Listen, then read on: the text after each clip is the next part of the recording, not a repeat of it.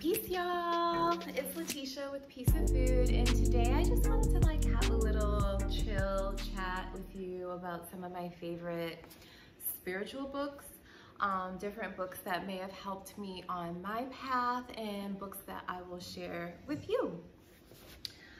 I really believe that learning is a never-ending thing. You're a lifelong student. I mean, if you choose to be. I feel like I'm a lifelong student and I love reading new books. I love learning about new things. And these are some books that have um, crossed paths with me and I love to revisit them and maybe reread the whole book again or even just read an excerpt. Sometimes I'll grab a book off the shelf and I'll literally just turn to a random page and it'll give me something that I need. So let's just get started. My first recommendation or book that I love is The Prophet by Kahlil Gibran. And this book, I essentially took it from my mom. She had a whole set and these are different philosophy. In this book, there are different philosophies on life that, and he gives you just like little pieces of wisdom. That's the best way to describe this one. And I always loved it because it comes off to me as very poetic and the information or like the advice is really cool. So I'll turn to one of my favorites. So um, on giving. So each, there's a chapter in each one, basically on love, on marriage, on children, on giving, on eating, on working, on joy.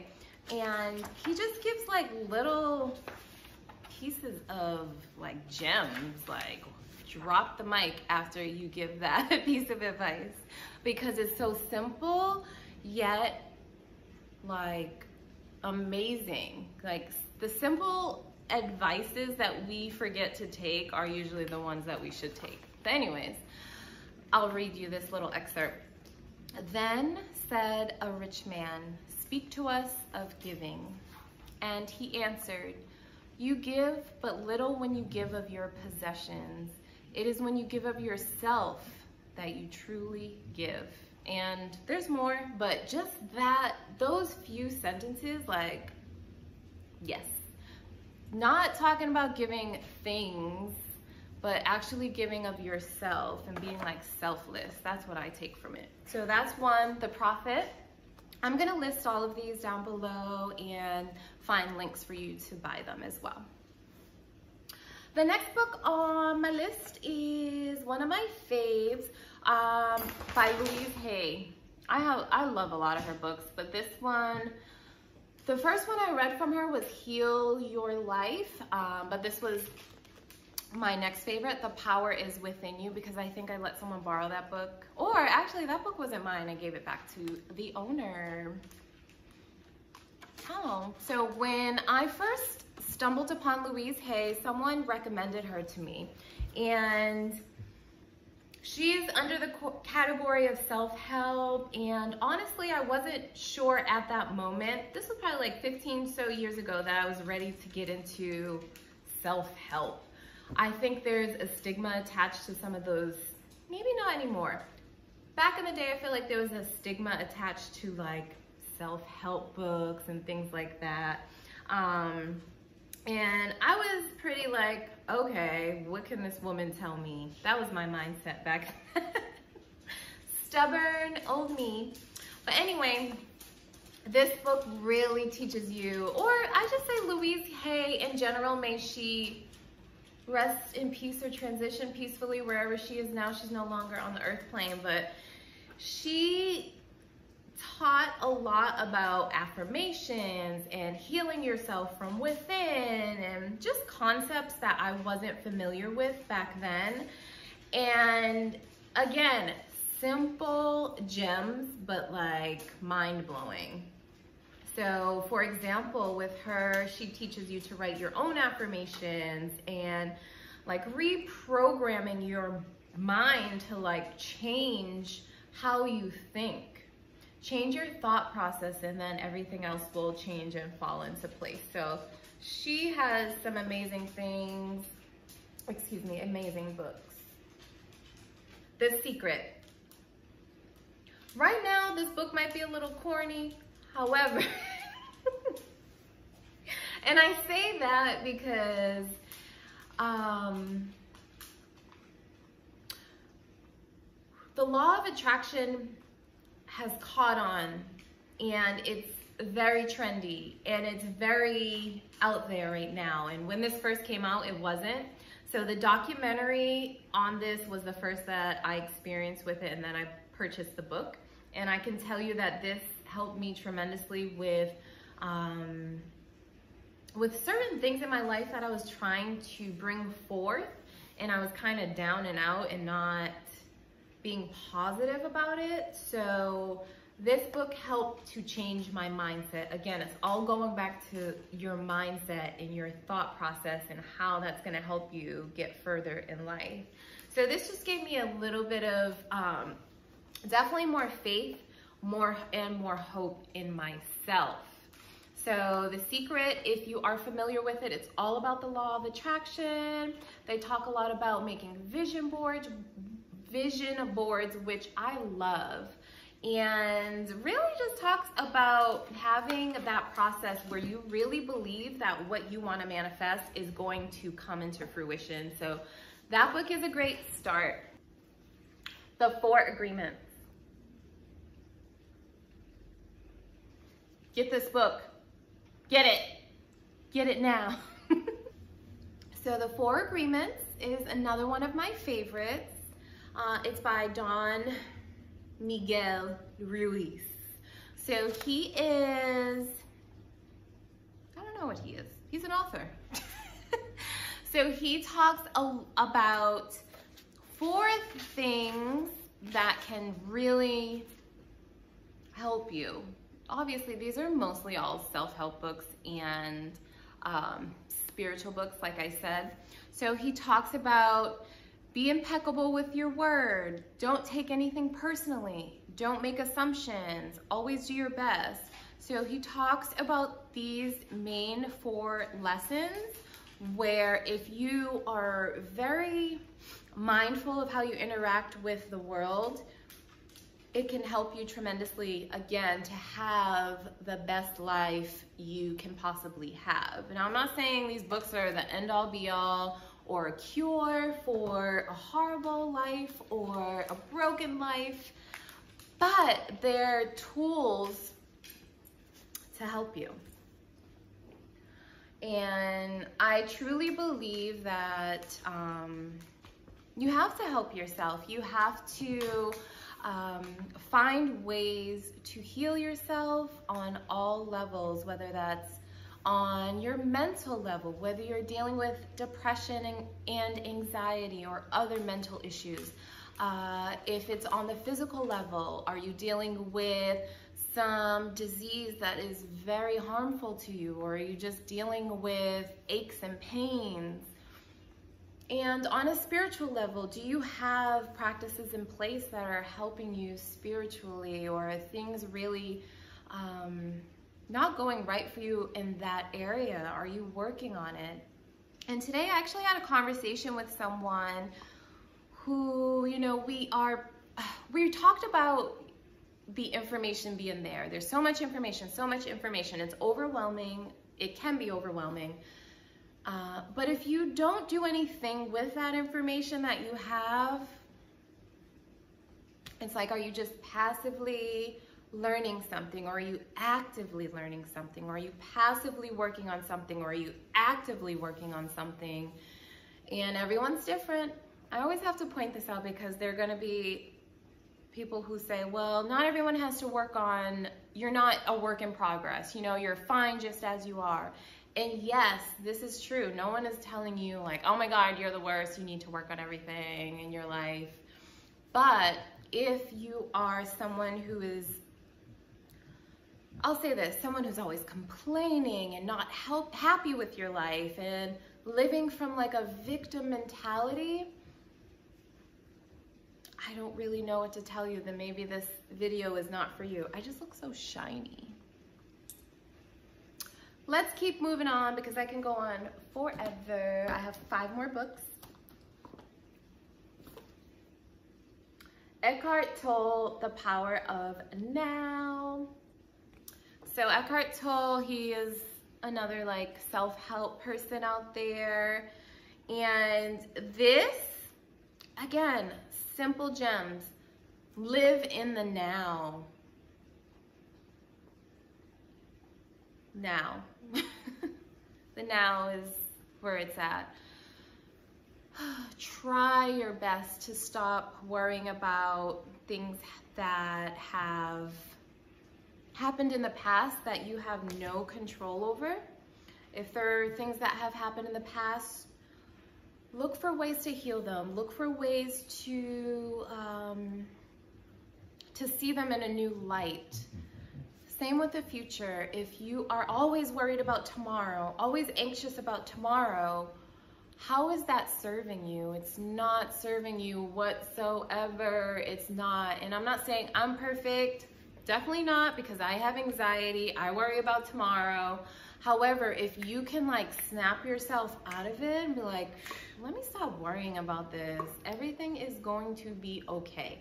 Everything is okay. I have enough. The universe provides enough for me, you know? It's just about realizing like, oh, I'm here, the here and now. That's all that exists really for me right now. So should I be happy? Should I be sad? I mean, it all really depends and everyone is different. We all go through phases. Hell, I feel like I went through one week of like, I can't believe I'm living through this whole corona thing. Like, wow. You know, we looked at movies when we were growing up and we read books, like science fiction books about things like this happening and we're actually in it. So it's like, yeah, I go through anxiety, but I really try to to get myself out of it, to pull myself out of it. And it doesn't happen like that sometimes. Sometimes it does. However, just be present. Be present. Be as present as possible. and that's what I got from that book. Moving on. This one is a cool one. So Egyptian um, Cosmology, The Absolute Harmony by Moustafa Gadalla. So he has a whole bunch of books that if you are looking into Egyptian metaphysics or Egyptian cosmology, he breaks it down in like, I don't want to say in layman's terms, but in a way, yes. But there's still some really great things in here. This was more so when I was leaving religion. If you had the chance to watch my first podcast episode, I talk about religion and spirituality with the Soulful Veganista. And her and I discuss how we grew up in church and how we've uh, transformed our spiritual practices over the years.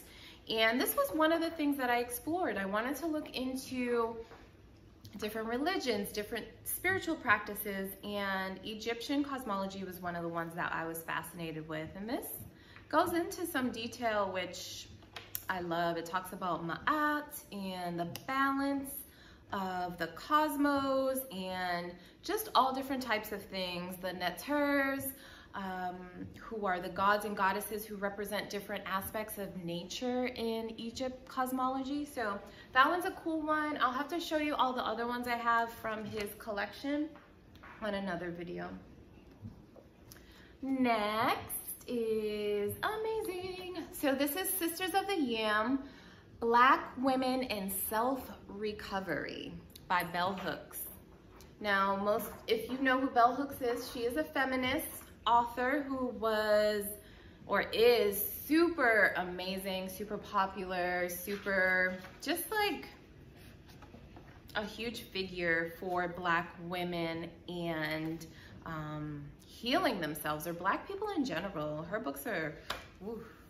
So Sisters of the Yam is a book that explores community within the black community.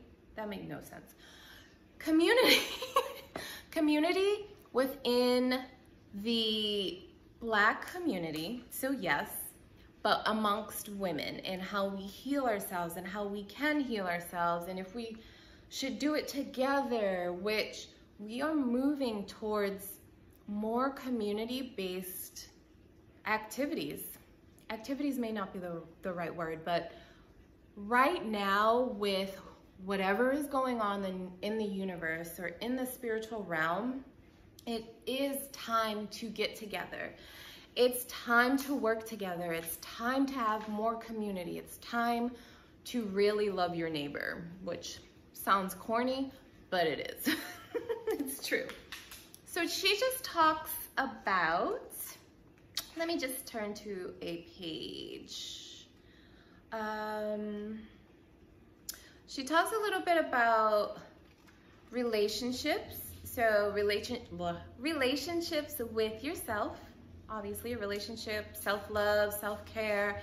She goes into depth about relationships you may have with your family, with your um, significant other, relationships with different parts of your body, relationships with the earth. Because essentially it's all connected. I say this all the time. It's all connected. If you love your body, I feel like you would love Mother Earth and take care of her way more. Um, so, yeah. But this is a great one if you are looking to heal, heal yourself on all levels. And I'll say this, you know, books, humans write books, you know? take everything with a grain of salt. I'm not telling you to agree with everything that's in this, these books because, you know, I don't agree with what everyone says in, in these books. However, they do have those little pieces of wisdom that I will take from them. I recently read a book where, honestly, most of the stuff I read in that book, I did not, I wasn't feeling it. But there were a couple of things that I took and I was like, okay, I can take that. Next one, the ancient secret of the flower of life. So if you've been following me for a while, then you know that I have this fascination with sacred geometry. so I love sacred geometry. I have, tat I don't even know what arm it is. I have the Flower of Life tattooed here. I have Metatron's Cube. I have the Vesica Pisces. I'm very, I don't know, there's something about sacred geometry that just pulls me in that I've loved over the years. And this one, this is one of the first books I read on sacred geometry. Um, this is by Drunvalo. I never remember how to um, pronounce his name, Melchizedek. Junvalo Melchizedek? anyway, I'll write it and connect down below, but this is volume one. I have volume two as well he talks about the connection with sacred geometry in all of the universe, essentially. He talks a little bit more about other things and other experiences that he's had um, that um, you go read it and see for yourself.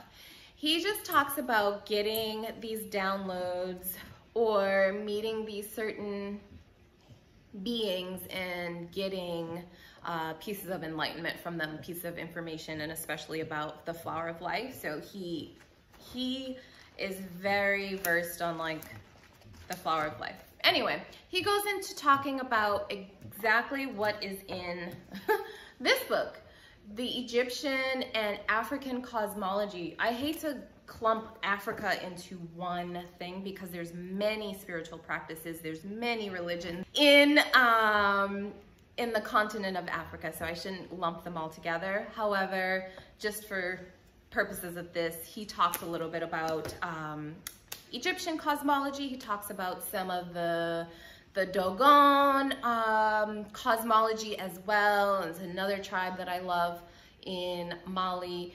But he talks about the connection of sacred geometry in nature, sacred geometry in our body, and how these different beautiful symbols can help us to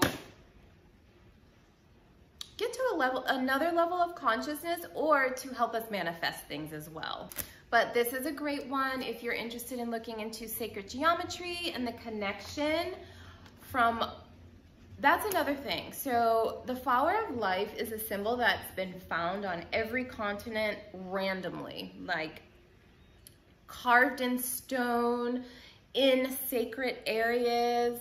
And the more you really look into it, I'm gonna allow you to do your research, but the more you look into it, the more you see like, wow, like we are literally sacred geometry.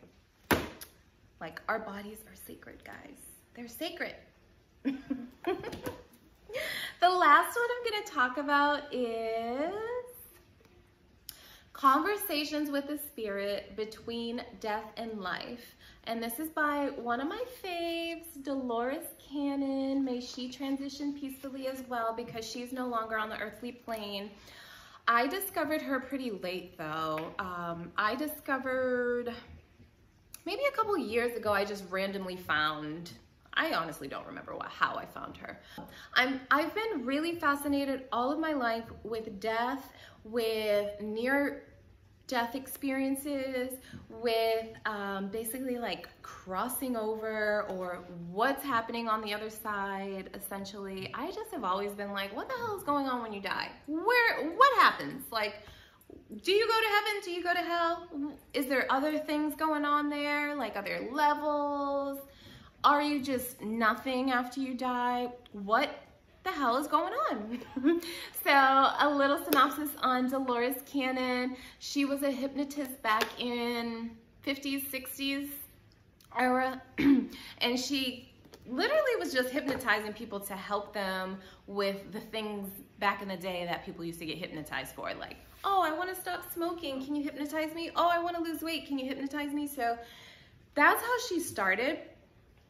But she st- she had one patient that all of a sudden just started spewing out things about a weird time period and a, another person. It was like she was talking about a past life.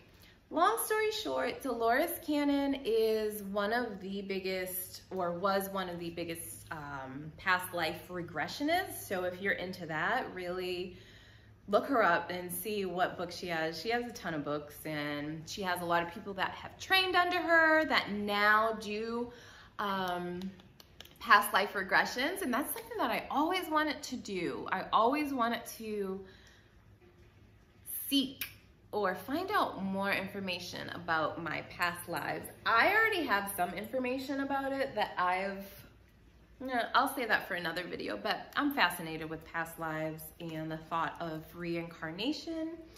Uh, so she is talking about her conversations with people that she put under who then discuss what the hell's going on on the other side. Like what's going on in the spirit world? What happens when you die?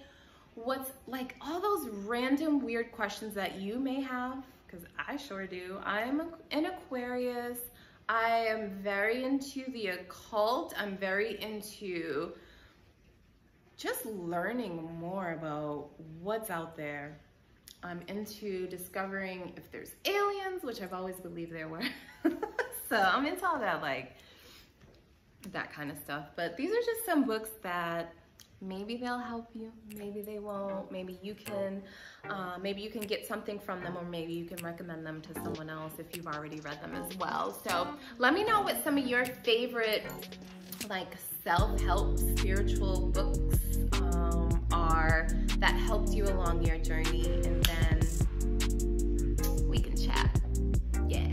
So anyways like comment subscribe. I appreciate you watching my name is Letitia. I'm the owner of Peace of Food and a holistic health coach, and I am here to help you piece together the spiritual with the physical. So, peace.